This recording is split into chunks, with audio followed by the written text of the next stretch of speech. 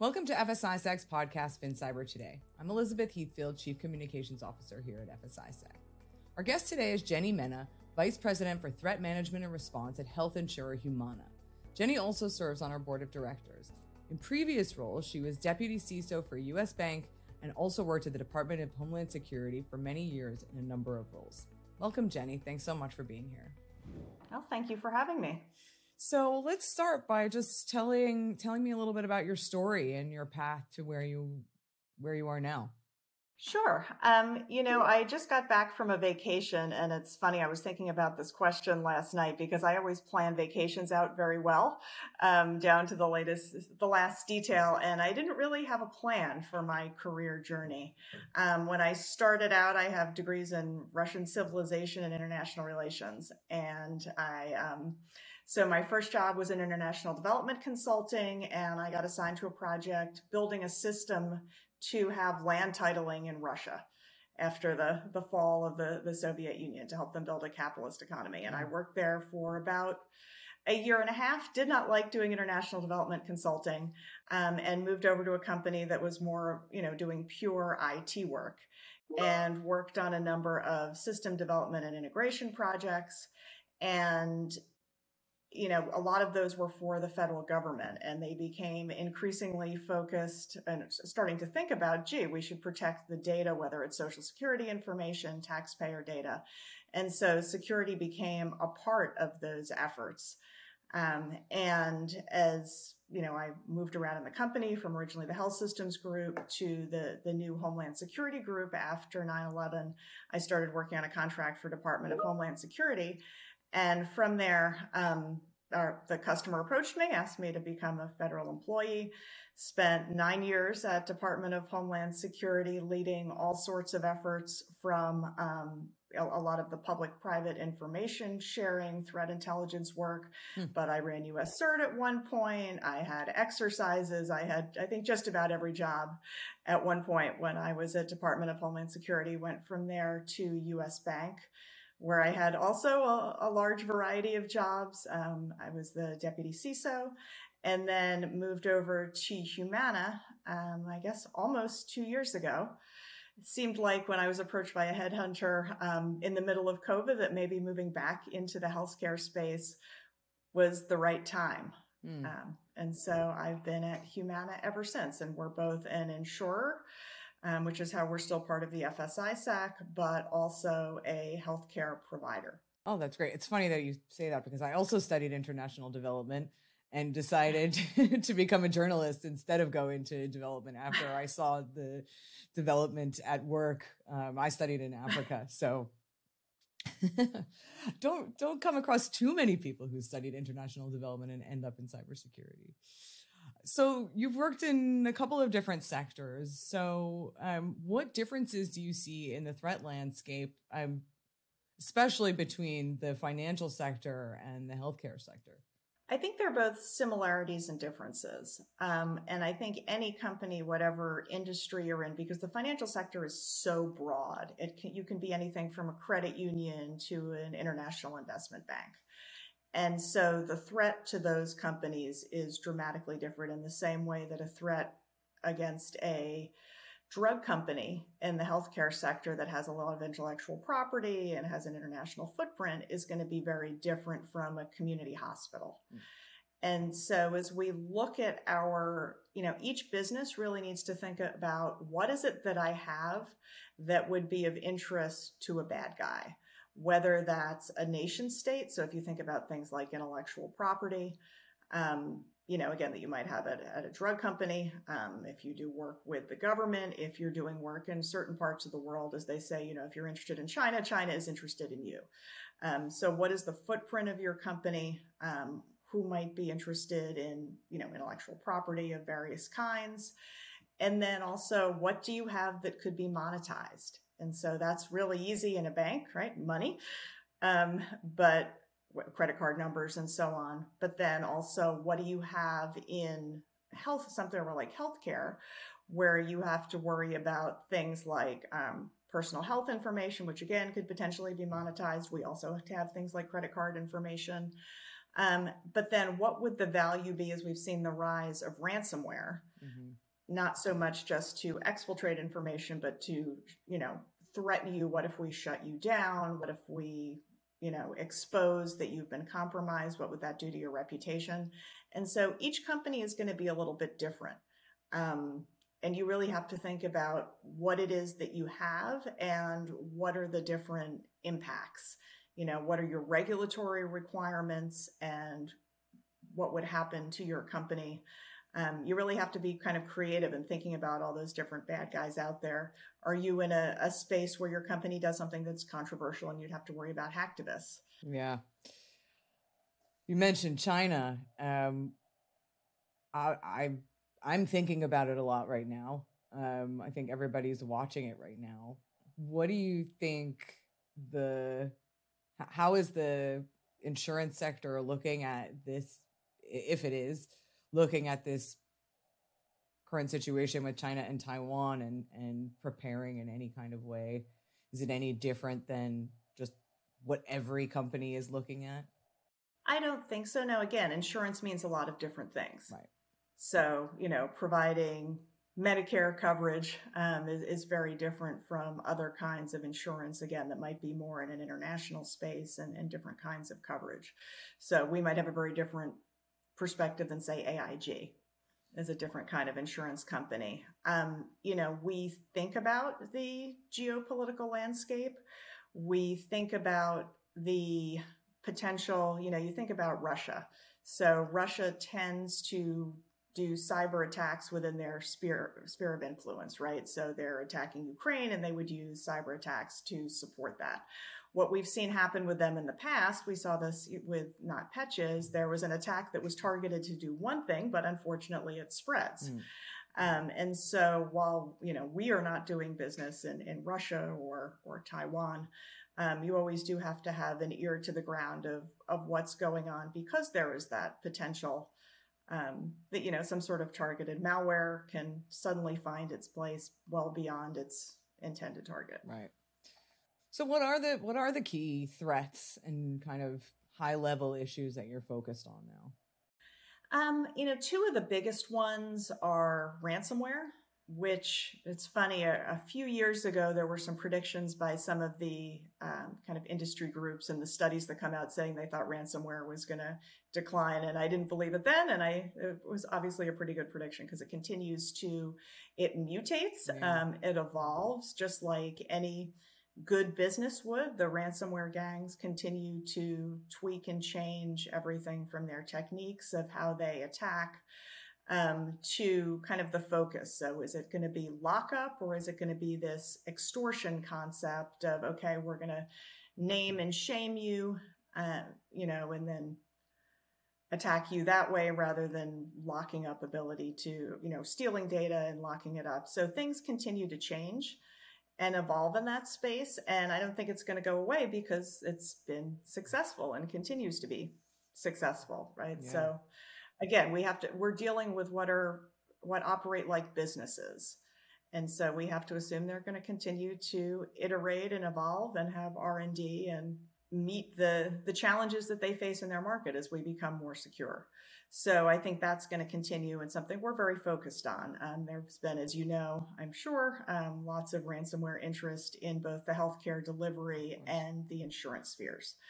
And so, actually, one area where we've seen consistency, um, you know, I guess it was about a year and a half ago, we were seeing ransomware DDoS for a mm-hmm. while. And this is one an example of where information sharing across types of companies within sectors, but also across sectors, is really helpful. Because first, the, the group that was doing that went after kind of traditional financial institutions then they moved into insurance, um, both healthcare and other types of insurance. And so we were able to watch that, see what worked. So they went after some of the large financial institutions first and were able to take some really good lessons learned about what the most effective mitigations were mm. and bring them over to the other side. Um, you know, the other thing that we continue to look at is the concept of the insider threat.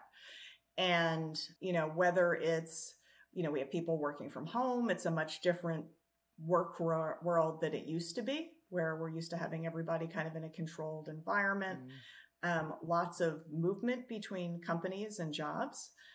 And we also, um, you know, have seen some of these criminal gangs and nation states approaching employees to help with an insider aspect of gaining that access and foothold, and you know, offering significant financial incentive to do that. Mm.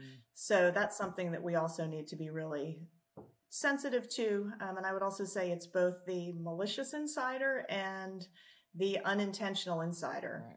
that you know we've seen over time whether it's somebody who's not paying attention and is clicking on emails or is trying to do their job more effectively but circumvents processes that are in place to protect security. You know we continue to see those things over time. How do you i would imagine then like most other institutions you have to focus a lot on employee education and awareness. Mm-hmm.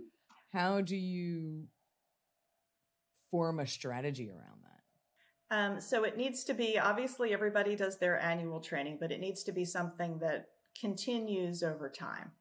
So as we continue to see different kinds of attack techniques, updating the phish tests that we send out, you know, and the training that goes along with them if you're a clicker, uh, sending out messages to different parts of the company when we know, for example, that there's a, say there's a ransomware actor group that is targeting legal departments pretending to be from a, a well-known law firm.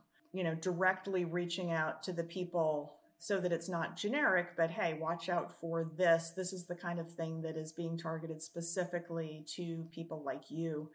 Um, and what to watch out for. And certainly rewarding people when they make those good decisions when they catch something and report it and say, hey, you know, this doesn't look right. Hey, this message looks funny. Um, you know, so both the, okay, you were bad and you clicked, go to the mandatory training, which is a little bit of a stick because um, no one loves to do additional training, but also the carrot of, hey, you know, you're, you're one of our cyber heroes for catching and reporting this. On that point about the insider, the malicious insider, or the insider who actually does get um, bought off by by threat actors. You know it makes sense that that would be something i hadn't thought of it but it makes sense that that would be something that in this time of the great resignation people shifting jobs around people working from home that that would be more of a threat than it potentially used to be. So how do you disincentivize that when you can imagine that the resources of the threat actor is pretty substantial. And if they really want access and they're going to get, you know, be able to drop a big payload, that they'll pay quite a lot of money for somebody to do that. So how do you disincentivize that? Um, well, I mean, I think incentivizing and disincentivizing, I guess, can mean different things, right? So how do you protect against that potential threat? I think there's, you know, there's defense in depth, like with anything else um, you know, the these basic concepts of least privilege.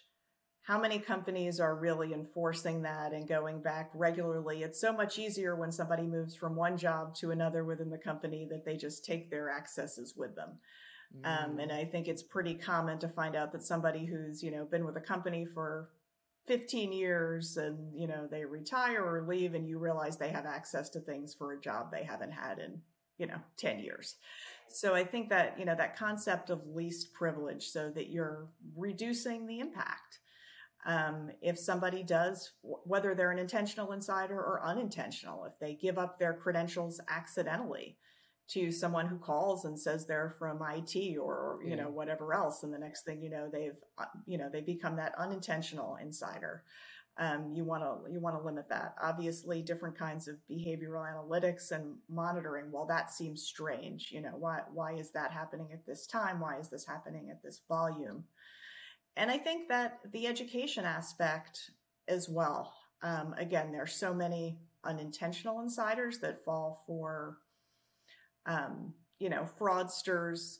Again, calling, emailing, very convincing, very persistent and another issue, and you know, we've read about this. Um, I read about this actually in a couple of studies.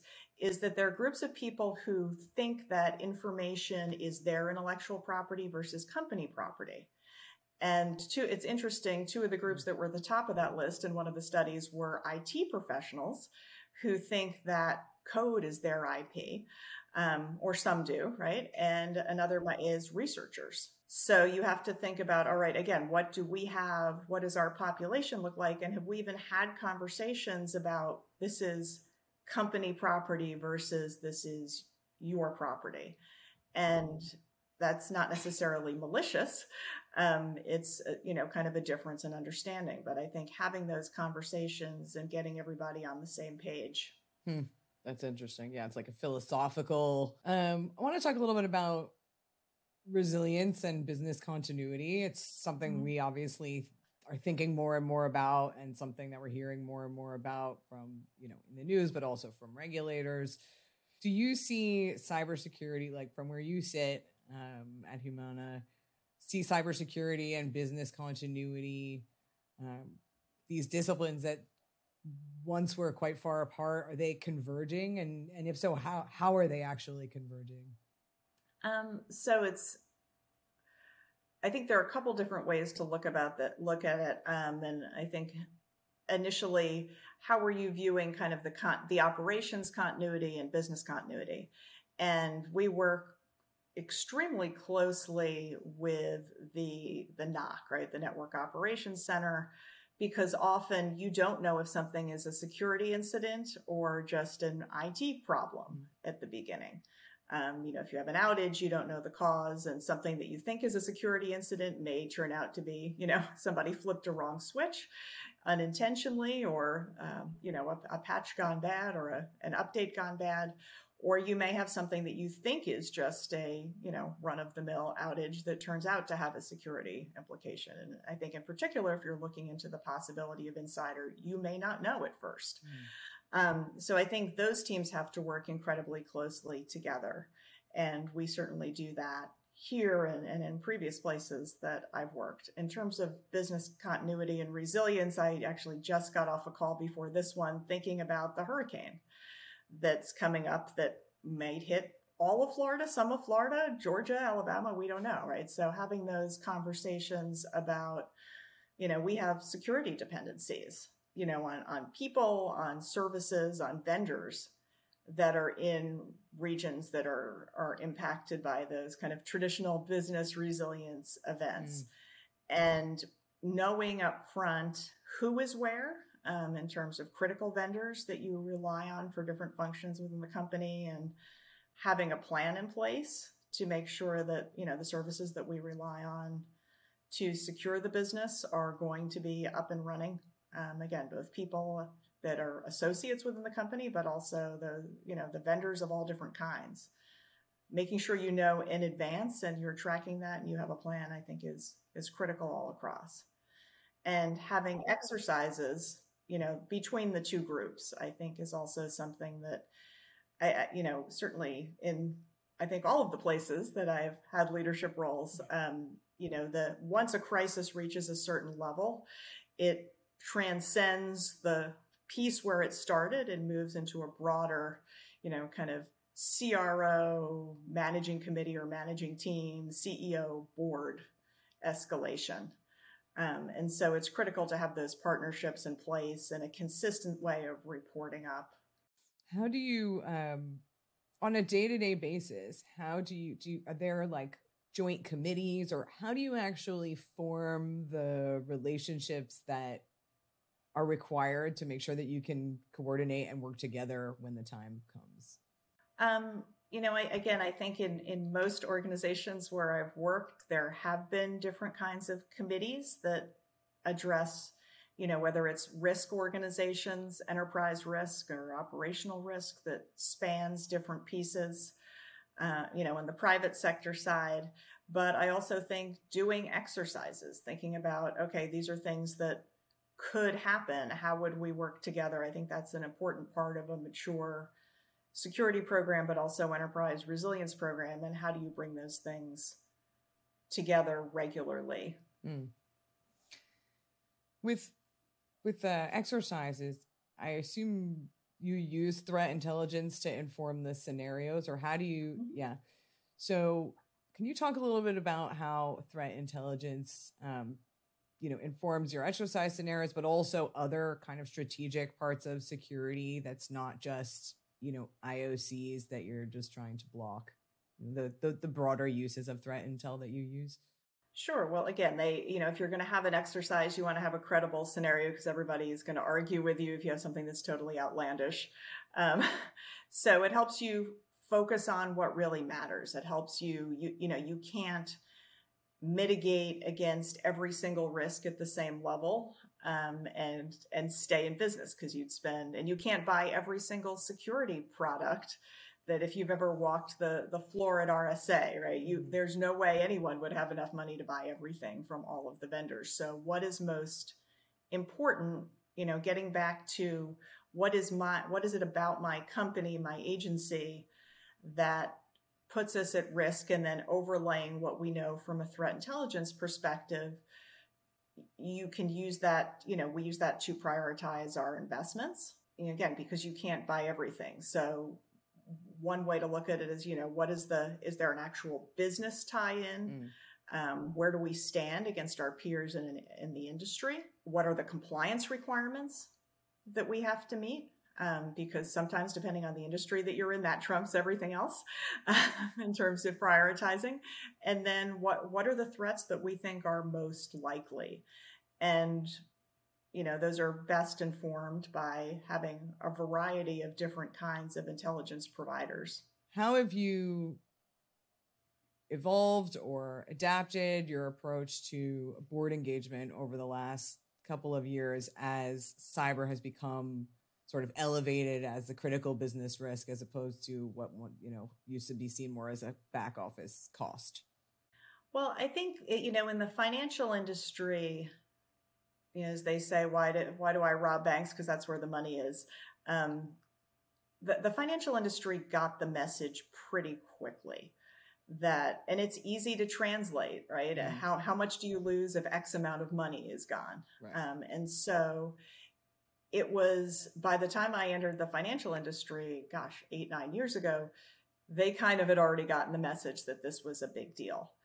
Um, and I think, you know, fortunately or unfortunately, as cyber attacks have moved to other industries, and we've seen, you know, front page news attacks of everything from hospitals that have to shut down emergency rooms to major ransomware incidents all over the press you know, people definitely have gotten the message that this is a, a, business issue, and it's gotten, I think, easier to tell the story of, you know, again, as you're weighing risk and investment of what might the impacts be, because there are more examples that right. you can give um, rather than just trying to guess. Mm. I think one thing that's been interesting is we see more um, boards having cybersecurity experts added to the board it's actually in some ways become more challenging. Um, I know when, when I was at the bank, I had a, a former colleague who's a CISO from a large household name company in another industry call me at night. He's somebody I'd worked with at Homeland Security on a number of things. And he said, uh, Jenny, do you know Richard Davis, who was the CEO of US Bank at the time? Um, and he had joined this company board. He was highly passionate and engaged in cybersecurity and walked in there where I think it had been kind of a cakewalk for the CISO and the CIO to talk about the issues for you and just pummeled them with incisive, detailed questions um, about what they were doing in their posture and why their posture was different from what he was used to at a large financial institution. Huh. Um, and so, yeah, so I think it's it's interesting. You have to play both sides because there are very different kinds of people on the board, and so you need to be ready to tell a business story. Um, you know, again, unless you're, you know, at CrowdStrike or a company that makes its money doing cybersecurity work, the, the business doesn't exist for cybersecurity. It exists for whatever your business is. And so how do you tie together, you know, what would it mean for the company without this, the sky is falling chicken little, which I do think there was a period where sometimes cyber practitioners went a little too far um, with some of the sky is falling on cyber. So, how do you tell a, a reasonable, reasoned story about your cybersecurity risk and how it impacts the business? that the folks on the board who aren't there for their IT or cybersecurity acumen can understand, while at the same time being ready to pivot when somebody who is very focused and interested comes in. Um, and some of that is we're seeing more committees that are are focused on the area, but I think that's been an interesting change for some people over the years. Yeah, that's interesting. Do I mean, is there an? I think that there's I've heard that there's an opportunity now for more CISOs to actually be on corporate boards.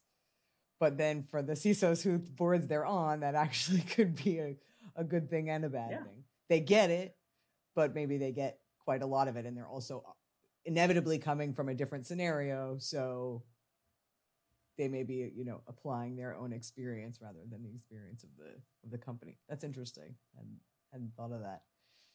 Um, do you see that most CISOs that you are um, that you talk to, and obviously as a board member, you're engaged with an FSISAC, do they come from having that sort of native understanding of how to tell a business story, or do they have to learn how to do that? Because I think a lot of CISOs come from pretty technical backgrounds.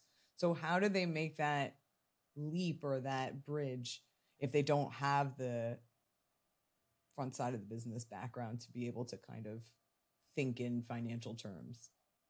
Well, I think CISOs do come from a wide, wide variety of backgrounds. Um, and so I think if you're coming in from a very technical background and haven't had a lot of that experience, having a, a mentor to help you with that, whether it's the, the CRO in a company or someone from another company, um, again, I know in some of the financial institutions, we've shared with each other some of the techniques and metrics and ways to communicate to the board between institutions, um, which can be helpful. I know, you know, when I came from government, and I actually started doing board briefings while I was in government mm. um, to support some some CISOs and making that business case. And they helped train me on how to talk to, you know, one, what resonates in private sector versus a, in federal government, but what level and and what kind of information they're looking for. And I, that's something that kind of continuously, and again, because the landscape changes and the board member changes. So who are you actually talking to? Who's on the board? What is their experience and expectation? What other boards are they on? You know, there are great resources out there. Um, the National Association of Corporate Directors has cybersecurity guidance um, for boards. And I think it's smart to be aware of what they're being told on the board training side. Um, you know, or again, what they may be hearing on other boards, because so many board members sit on multiple boards of directors that keeping aware of what those things, um, you know, what NACD, for example, is providing a guidance can be helpful. But I think, like in anything else, asking for guidance and advice Talk a little bit about your public sector versus private sector experience, especially in cyber. Um, one thing that I spoke about with Teresa, and she's um, been talking about a lot, Teresa Walsh, our global head of intelligence, um, is the idea that she also came from the public sector, that the public sector has a very long history of taking intelligence and turning it into policy, right? That's what they do national intelligence estimates, et cetera, et cetera. Mm-hmm. Uh, whereas in the private sector, it's not as mature, it's younger. And so there isn't um, the same expertise at taking raw intelligence and then turning it into something that they can actually use to guide a strategy. Do you see it do you see that that way or do you see it that way um, and and also you know how have you seen the interaction between the public and private sectors evolve over the last couple of years um, regarding cybersecurity issues? Sure. I mean you know i think we are not really collectors of raw intelligence in most companies. Um, you know, certainly we have information about attacks that we're seeing directly on us. You know, we might know that we were the victim of a phishing campaign, but in general, we are getting intelligence from commercial providers, frankly, more than than from government that are produced and packaged very much in the same way that the kind of reports that you get as a government official making policy decisions. Mm. So, yes, obviously there's lots of raw intelligence data at places like NSA, but that goes through multiple, again, steps of packaging and, and review before it comes to, to folks in, in senior leadership positions to make decisions. So the you know the market for what you can get from the private sector in intelligence has really matured in light years um, over the past decade or so and you know some of that is because you have people that have come out of government in some of the most senior positions that are then able to use their different kinds of you know less rules and less in some cases may, perhaps even greater access to inform, kinds of information to produce those products mm. in terms of the public private information sharing it's you know honestly it's been kind of two steps forward two steps back the government has I think so from a private sector to private sector sharing perspective, I think we've seen continued maturity and advancement over time. So the FS-ISAC, one of the first, really phenomenal sharing between members. And when I say, you know, share everything, even incredibly sensitive information right away um, with each other is incredibly mature and beneficial in other industries, um, you know, I've also seen real progress of other ISACs coming along. So there was a while where the FS-ISAC was kind of the only, you know, game, in, town, town, certainly the defense industrial base maturing. Um, but I'm really impressed with where the healthcare industry has, has gone. Um, you know, the health ISAC has really matured in the in the sharing and the services that they provide, um, in you know the exercises they develop for the sector, um, you know, in, in, convening communities and experts at conferences. So we're starting to see other industries move forward as well, which is incredibly helpful. Um, but in terms of government, you know, it's you have a lot of turnover in the staff. You have political administrations that come and go with different priorities we really lost a lot of the progress um, that we had made during the previous administration because of a number of political appointees in the or two administrations ago in the previous administration where cybersecurity wasn't a focus. There was a feeling that you know the government shouldn't be doing things for private sector um, even though obviously we don't have things like our own private sector signal intelligence capability um, you know the government has. So now it's kind of okay let's get back at it Okay, so let's. Uh, thank you so much. It's really interesting and insightful. Um, let's talk a little bit about some advice that you might give to younger professionals who are up and coming or just entering the the field. What kind of skills should they be building now for the future? Where you see the future of the field going? Um, I would say, and I say this as someone who went to college and graduate school when cybersecurity wasn't a field. That you want to learn good analytical skills. You want to learn the ability to think creatively, to connect different data points and turn that into information that's useful. Um, you want to learn how to communicate verbally and in writing. So you want to really build those soft skills as well. And I think you need to build resilience for change and flexibility to um, a mindset that you need to continuously be able to learn and do new things. Because I am certain that, you know, in frankly, given the, the pace of change in 5, 10, 15, 20 years, the careers and the skills for those careers are going to be significantly different than they are right now, right? That you're probably going to want a job in 10 years that doesn't exist today. And so the, the best way to prepare for that is again to just have some of those basic capabilities and then be willing to continuously try new things and pick up the tactical skills along the way. Um, you know, whether it's learning a, you know, some getting a very vendor specific area of expertise, or I, I finally went and got my CCSP, my Certified Cloud Security Professional exam certificate this year, right? I mean, you just want to stay on top of things at whatever your level is in the organization. Um, but you need to be ready to, to pivot. I think we learned, you know, you got to be able to learn to work from home. You've got to be able to learn to work in a cloud versus an on prem environment. Um, you know, rapidly changing international environments, regulatory environments. You've got to be be flexible and future proof yourself. Yeah.